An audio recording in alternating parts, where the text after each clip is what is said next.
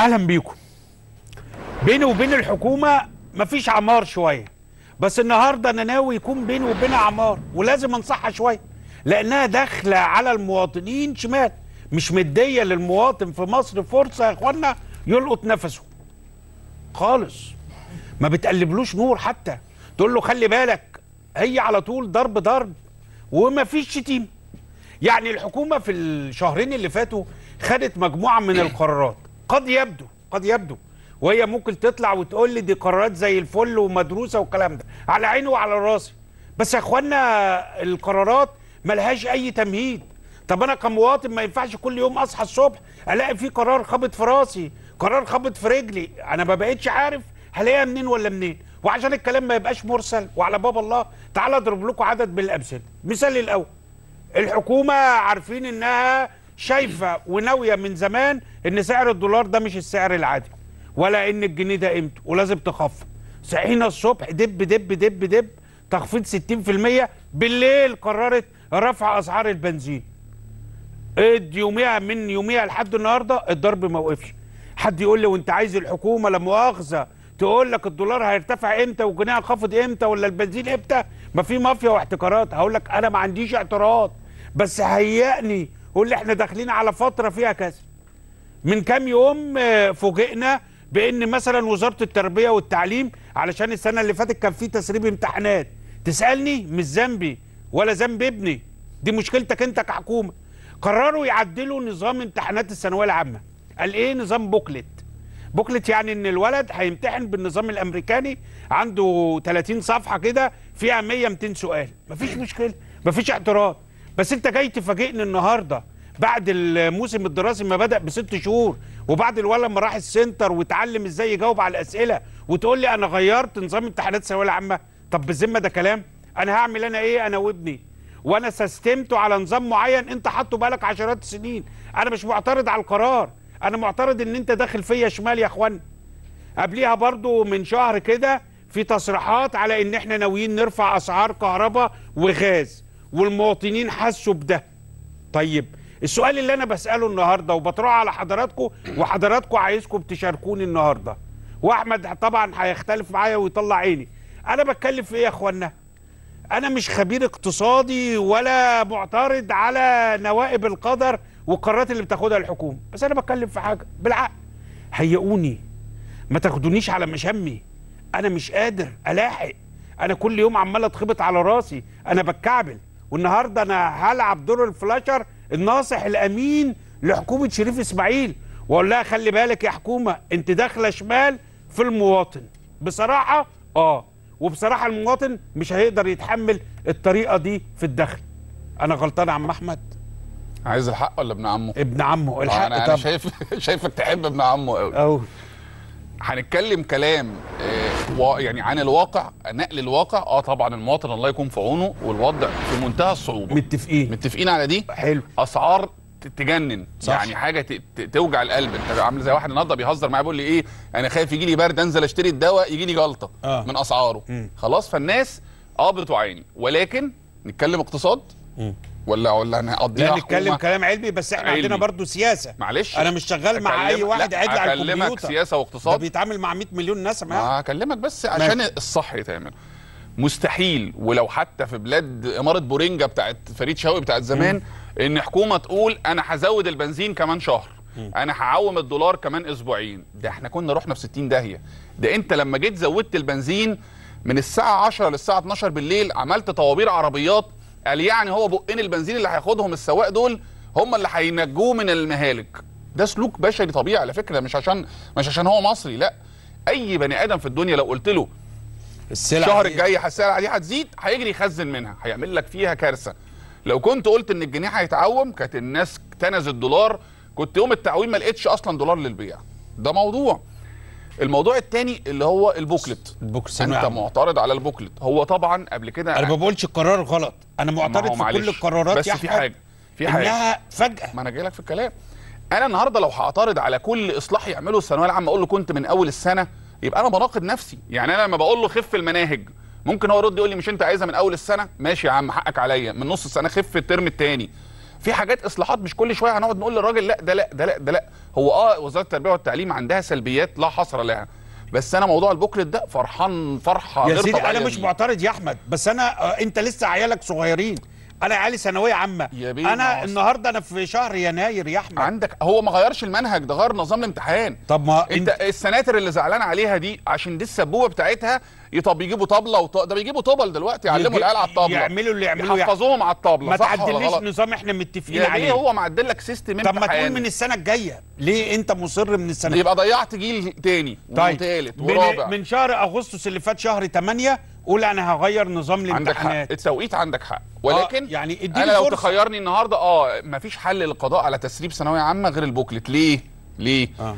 نص مليون طالب ولا شوف هم كام بيخش يمتحنوا على لجان مصر كلها. مين هيفتش كل دول؟ هيتسرب هيتسرب. شاومينج ده النهارده صفحة التسريب طلع يقول لك أنا بصراحة في ال booklet مش هعرف أعمل حاجة. ده خبر النهارده. وفعلا هيعمل إيه؟ ده عبارة عن عشان برضو يا جماعة تفهموا موضوع ال booklet ده ببساطة للي مش متابعين أو ما لهمش حد في ثانوية عامة. ده عبارة عن امتحان كراسة كده كاملة فيها 50 60 سؤال بتحل فيها جواها. وأسئلة كلها ذكاء. وفي حاجة اسمها ال MCQ اللي هي أسئلة الاختيارات ال multiple choice أسئلة الاختيارات دي أنت بتعلم حسب فهمك وده اللي إحنا عايزين نعلمه لأولادنا. أحمد أنا كل ده مش معترض عليه أنا برضو أنت عمال تبرر لا، هو للوزير اللي- اللي هو يفاجئ الناس بتغيير سن بقول عنده ست إيه؟ شهور لغاية أنتوا الامتحان حكم بينه وبين أحمد سالم وبين شهور. وزير التربية والتعليم. مش كل ما وعندكم عيال وعندكم عيال في الثانويه العامه خلاص، يبقى هل توافق على تعديل نظام الامتحان فجأة في نص السنة كده؟ ولا كان لازم يديك فكرة قبلها افتحوا يا شباب التليفونات طب ثانية ونزلوا واحدة بقى، التليفونات بس لحظة. اتكلم على هاشتاج الحلقة النهارده ماشي. غلاء الدواء لأن عندنا فقرة رئيسية بعد الانترو النهارده. هنفتح فيه ملف ارتفاع أسعار الدواء ما له وما عليه. الفقرة أيضا متاحة لحضراتكم للتواصل عبر التليفون. نزل التليفونات وناخد رأي حضراتكم في فكرة مفاجأة الحكومة للمواطن. أنا مش معترض يا عم أنا بقول لك أنا مش خبير اقتصادي. وارد القرارات دي زي الفل. بس أنا بقول إيه؟ طب ما أنا أنا عايز بس أوضح. لك نقطة مش. الدواء بتضرب مثل بالدواء؟ آه. اللي حصل في الدواء ده هو عدم المفاجأة ده أكبر غلط. ليه؟ أنت ع- أنت النهارده عومت العملة في نوفمبر ولسه بتوعد الناس بتسعير الدواء في فبراير. ده الم... ده اللي أنا عايز أتكلم فيه بقى ودي نقف عندها معلش يا جماعة. ثواني. هي الغلطة مش في القرار الغلطة إن كل قرار لازم يبقى معاه حزمة قرارات تساعد عليه. يعني أنا يوم ما نزلت بالتعويم كان لازم أنزل مع التعويم. بالتلطيف بتاعه الم- المرطب بتاعه زي ما واحد بيتحرق بتحط له مرطب كده كان لازم أقول للناس يا جماعة إحنا بصراحة. مع الحرق ده عندك برنامج تكافل وكرامة للفقراء. عندك للطبقة المتوسطة إعفاء رفع حد الإعفاء الضريبي.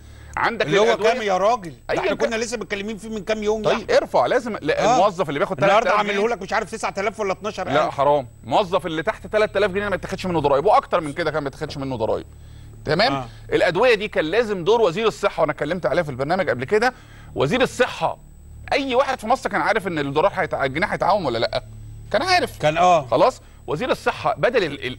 بالبلدي الحوسة والخيبة اللي إحنا فيها دي كان زماننا قعدنا مع الناس شركات الأدوية من شهر 7 8 يا جماعة عايزين نتفق في أسعار هتبقى جديدة هنو... هنوليكم بيها هن... بدل اللي إحنا فيه ده.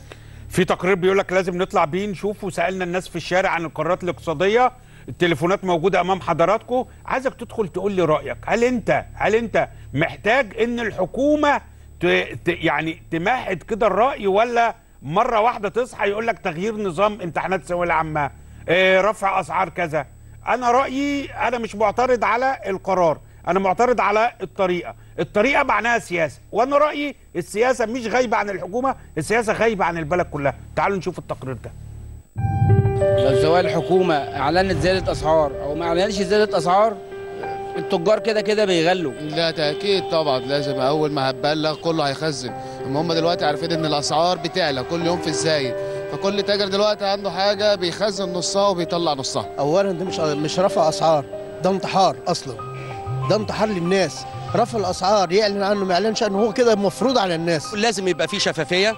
إن الأسعار تقول إن الأسعار هتزيد بنسب مثلا آه آه معينة ويبقى في رقابة أيضا على السلع اللي موجودة في السوق. مش كل واحد بيحدد سعره حسب مزاجه لأن مفيش رقابة. لابد يبقى يكون فيه شفافية للمواطن علشان المواطن ده موظف أو إنسان بسيط أو إنسان عادي يكون عارف راسه من رجليه ويشوف إمكانياته. موضوع معلن أو غير معلن دي مش فارقة كتير واللي يفرق مع الناس اللي الأسعار تهدى شوية والموضوع إيه يعني يبقى فيه يبقى في حتة هدوء شوية في موضوع الأسعار لأن كل ما بيزيد الناس بتعاني بصراحة. في ناس كتيرة كانت بتبقى مرتبة حياتها بشكل أو بآخر ولكن أما تيجي فجأة تقوم ترفع الأسعار والأسعار الأسعار ما بترتفعش آه، بشكل آه، آه، مستديم لأ ده بشكل فجائي كل يوم بسعر جديد. أنت بت- بتروح تشتري سلعة تجيبها بجنيه بعد شوية بجنيه ونص. إيه في في إيه؟ يقول لك السعر رفع. طب رفع منين؟ وإزاي؟ يقول لك الحكومة اسأل الحكومة. آه يا عم عداني العيب اهو. إحنا شعب بص ده النصاحه تقرير والفهلاوه متظبط أحمد مظبطه مع. المراسل. يا حول شباب والله. التقرير بتاعي بيه انت طب بلاش؟ كده. قول النهارده السكر هيغلى ولا كفاية السكر مش هيغلى أكتر من كده. قول الزيت هيزيد كمان أسبوعين. هتلاقي مصر كلها بتعبي الزيت أحمد أنا ما بتكلمش. على القرار والله. أنا طيب بتكلم إن أنت أنا- بت... يعني بقول لك نظام أنت لسه عيالك صغيرين. أنت لو ابنك في ثانوية عامة وأنت فاجئت بالعكس أنا مشواري طويل. لسه. عيالي لسه مشاورها طويلة. خلينا ننوه على هاشتاج حلقة النهارده. الهاشتاج يا شباب بغلاء الدواء. تقدروا تتواصلوا معانا على هذا الهاشتاج. إبراهيم من الدقهلية. إزيك يا أبو خليل؟ محمد. إزيك يا حبيبي؟ إزيك يا أستاذ أحمد؟ أهلا بيك يا أستاذ إبراهيم. أهلا بحضرتك. أنا مع النظام الجديد للامتحان الحالي للثانوية العامة. إحنا مش معترضين على النظام إحنا معترضين يا على التوقيت. الفاضل يا أستاذ محمد سيادتك مش تربيه وتعليم. نعم. انت عايز كل طالب يجيب 107% لا طبعا. آه أنا معترض على التوقيت. الناس اللي حصلوا على جائزة نوبل حد منهم جاب 80% في الثانوية العامة؟ يا أستاذ محمد سيبوا الناس تتكلم صح. سيبوا التخصص- المتخصصين يتكلموا صح. عايزين تجيبوا 107% عايزين تخشوا صيدلة عشان تجيبوا مليون جنيه في السنة؟ عايزين تخشوا طب عشان تجيبوا مليون جنيه في السنة؟ طيب. مش كان الأفضل يقول لنا إن إحنا هنغير. نظام الامتحانات في أغسطس اللي فات قبل السنة ما شهر إن- زي ما الناس بتدي دروس يضربوهم يا أستاذ محمد. نعم. مفيش حد بيروح المدارس يا أستاذ محمد. نعم. المدارس بقى 20 سنة مفيش طالب واحد ثانوية عامة مفيش واحد طالب واحد مدرسه هياخد القدوة منين؟ وهياخد التوجيه منين؟ وهياخد الإرشاد منين؟ مفيش مفيش طالب النهارده مفيش واحد تخرج من سنة 94 ثانوية عامة أو كلية عنده حي... عنده يعني طيب،؟ اسمعني- مهارات اسمعني 30 اجتماعية ثانية. ولا أنت داخل لأنه داخل ضرب ضرب. نظام الامتحان لابد يتغير طيب. لابد من الإبداع لابد من التفكير أجيب 70% من مجهودي أشكرك أشكرك. أشكرك أنا بتكلم في إيه يا إخوانا أنا ما بتكلمش معترضا على استخدام نظام البوكلت والأسئلة وال100 سؤال وكلام. أنا بقول إيه؟ ما ينفعش يتفاجئني. وأنا في نص العام الدراسي بتغيير طريقة الامتحان. بصراحة. طب أخد أنا ميخائيل من الجيزة. أهلا وسهلا أستاذ ميخائيل. أستاذ أحمد ازي حضرتك؟ أهلا بيك. صوت أعلى لو سمحت شوية يا فندم. آه، كده؟ آه تمام. أستاذ أحمد يعني أنا عايز يعني أعرف هو الرئيس فين من كل دوت وفين الحكومة من كل ده يعني؟ والله يا فندم هو الرئيس بيتكلم والوزراء بيتكلموا ورئيس الوزراء بيتكلم يعني كل واحد بيقول اللي عنده إن الظروف صعبة إن في عجز موازنة في إيرادات يعني كل واحد بيقول مبرراته.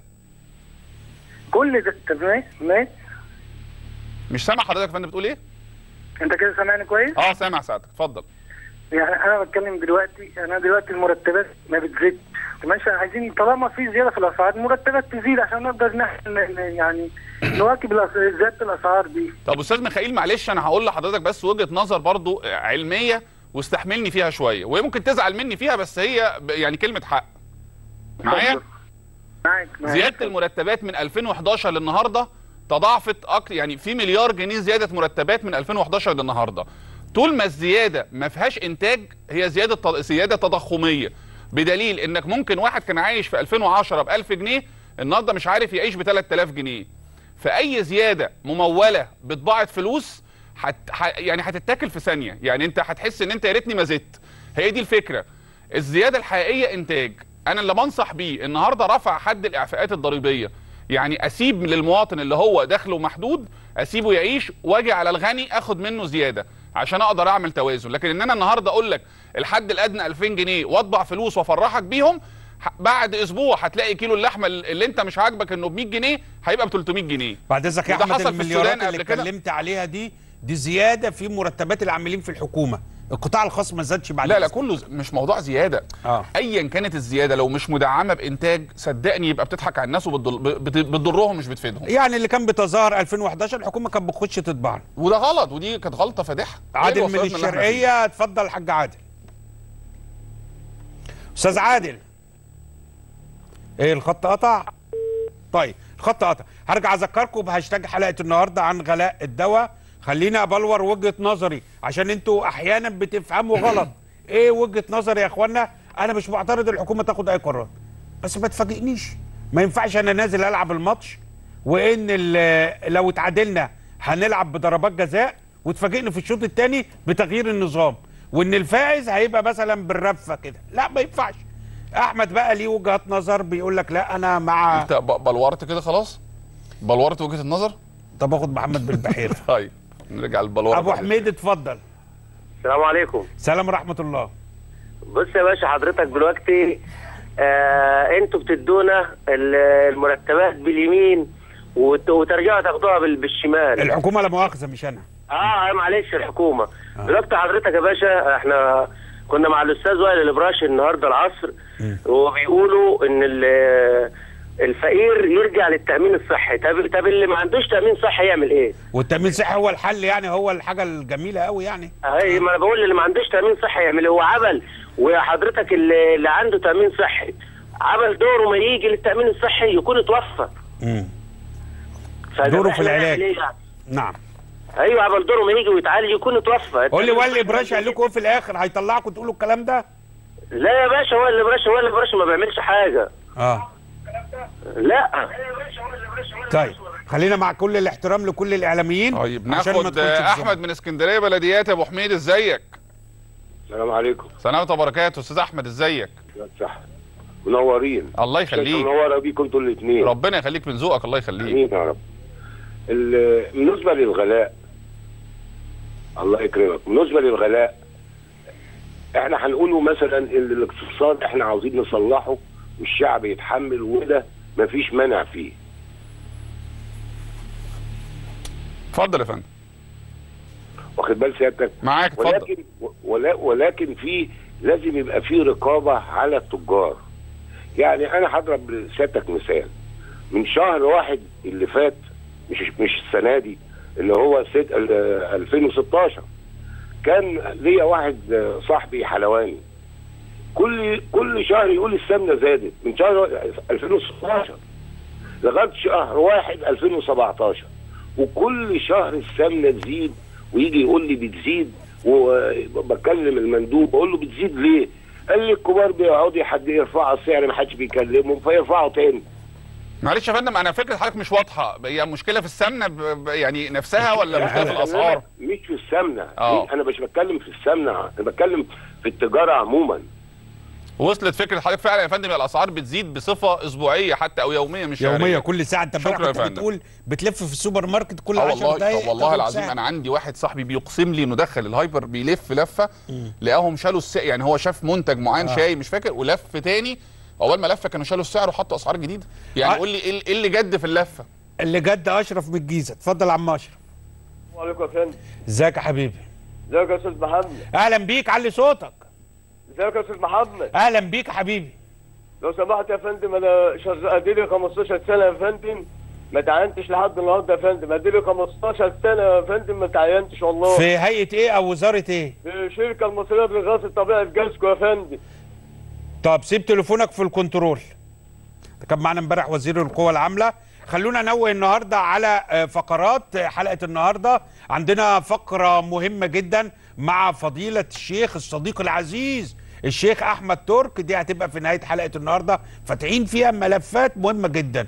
تعال نغزك كده نغزة. لو معاك ألف دولار تطلع على السوق السوداء تغيرها ولا تطلع على البنك تغيره؟ طب ده حلال ولا ده حرام؟ لو غيرت في السوق السوداء. حتى لو كان الفرق مغري. هنحطك النهارده قدام ضميرك. عندنا بعد الفاصل فقره أقول لك حاجة وما تزعلش. آه. إحنا متدينين قوي بس لما تيجي على جيبي على جيبي. إنساني. كله يا باشا في السوق. السوداء. كله في السوق السوداء. وعندنا بعد الفاصل موضوع مهم عن ارتفاع أسعار الدواء. هنناقشه النهارده الفقرة متاحة لحضراتكم. أنا عايز أكلمكم. أنا بالنسبة لي النهارده كنت بسأل على أدوية تتعلق بحالتي الصحية لكن فوجئت مش موجودة ويقول لك استيراد ومش استيراد. إيه؟ داخلين على السكة دي؟ بعت لصديق ليا في الخليج قال يبعت لي الدواء. مصر توصل للمرحلة دي؟ وبعدين هيبقى عندنا فقرة الأخبار اليومية اللي بيني وبين أحمد سالم. نطلع فاصل.